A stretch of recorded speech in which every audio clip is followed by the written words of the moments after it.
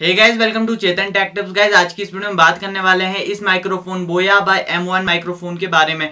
बहुत से लोग इस माइक्रोफोन के बारे में जानते होंगे, आप यहाँ पे देख सकते हो बोया का माइक्रोफोन है और मैंने इसको परचेज किया हुआ है अमेजोन से, वो भी सात सौ चालीस रुपए का। आज की इस वीडियो में बात करेंगे इसकी साउंड क्वालिटी के बारे में, कितनी नॉइस को आपकी रिमूव कर देता है, या फिर ये आपके लिए अच्छा रहेगा या नहीं रहेगा। देखिए, सबसे पहले तो यार मैं बता दू, हर यूट्यूबर इस माइक को यूज़ करता है, ठीक है? बाद में चल के जब है बाइक को बदलता है, वो अलग बात है, लेकिन शुरुआत में जो है बोया बाई एम ही खरीदता है। और आपको मैं बता दूँ, इसको आपको खरीदना चाहिए, नहीं खरीदना चाहिए, मैं आपको बताऊँगा। देखिए, इससे मैंने कोई वीडियो नहीं बनाई हुई है, फिर भी मैंने इसको पर्सनली दस दिन जो है यूज़ किया हुआ है। आज मैं इसका रिव्यू देने वाला हूँ कि इसका साउंड टेस्ट भी आपको दिखाऊँगा कि कितना बढ़िया जो है, सवाज रहती है। तो यार, मैं बताऊँगा लास्ट में बताऊँगा कि इसको आपको खरीदना चाहिए, नहीं खरीदना चाहिए। सबसे पहले बात कर दू यार, इसके साथ मुझे क्या क्या आया। देखिए, यहाँ पर एक बुक्स बुक्स सी आई हुई है जैसे इसमें लिखा होता है कि किस तरीके से इसमें इंस्ट्रक्शंस दिए हुए हैं, कि इसको यूज़ करना है, ठीक है? आप इसको पढ़ सकते हो। और भी जो है, इसके साथ आपको बहुत सा सामान मिल जाता है।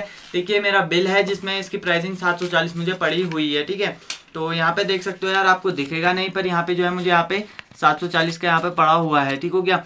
तो अब बात करते हैं इसके साथ। देखिए, इस तरीके से एक बैग आया हुआ है और जो है माइक्रोफोन इसी के अंदर रहता है।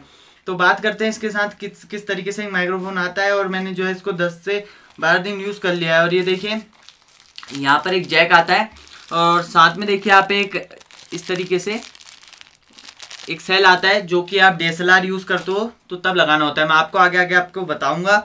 और यहाँ पे देख सकते हो यार, इस बैग में से मैं माइक्रोफोन को निकाल लेता हूँ। ये थोड़ी उलझा हुआ है। पर आप यहाँ पे देख सकते हो कुछ इस तरीके से आता है। तो ये है अपना माइक्रोफोन थोड़ी उलझ चुका है। इस तरीके से आपका आता है, ठीक है?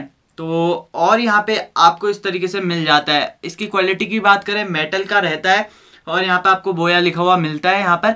और अब इसकी यूजिंग की बात करते हैं। देखिए यार, जब आप कैमरे में यूज़ कर रहे हो तो आपने जो है यहाँ पर से खोल के इसमें अंदर, ये देख सकते हो, यहाँ पर आपने इसमें सेल डालना होता है, जो कि मैंने आपको दिखाया था।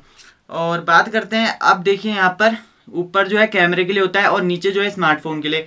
तो इसमें अभी मैंने सेल नहीं डाला है क्योंकि स्मार्टफ़ोन में इसको यूज़ कर रहा हूँ। तो अब आगे आगे बात करते हैं, ठीक है?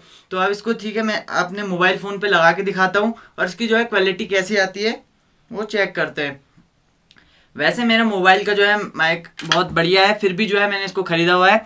अब देखिएगा, क्वालिटी में बहुत सा डिफरेंस आ जाएगा। तो तो गाइज़ ये आवाज़ आप सुन रहे हो बोया बाय एम वन माइक्रोफोन से। इस माइक्रोफोन से आप इस आवाज़ को सुन रहे हो।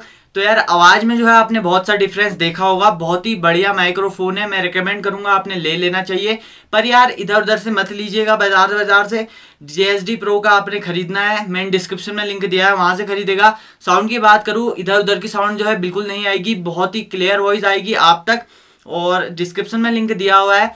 और देखिएगा, आप सुन सकते हो यार क्वालिटी कितनी बढ़िया आ रही है। पहले जब मैं बोल रहा था, और अब जो बोल रहा हूँ, इसमें बहुत सा डिफरेंस आ रहा है, ठीक है? सबसे बड़ा डिफरेंस तो आ रहा है मेरा मोबाइल का जो माइक्रोफोन है, मैंने जैसे बताया हुआ था वैसे भी बहुत बढ़िया है, फिर भी जो है मैंने माइक्रोफोन खरीदा हुआ है और इससे जो है मैं बहुत खुश हूँ और बहुत ही बढ़िया माइक्रोफोन है 740 की प्राइसिंग में। और माइक मत खरीजिएगा बोया बाय एम वन खरीदिएगा तो डिस्क्रिप्शन में मैंने लिंक दिया हुआ है, वहाँ से जो आप इसको खरीद सकते हो। तो वीडियो कैसा लगा यार, ज़रूर से बताइएगा। एक कमेंट कीजिएगा लाइक और शेयर कीजिएगा। Thanks for watching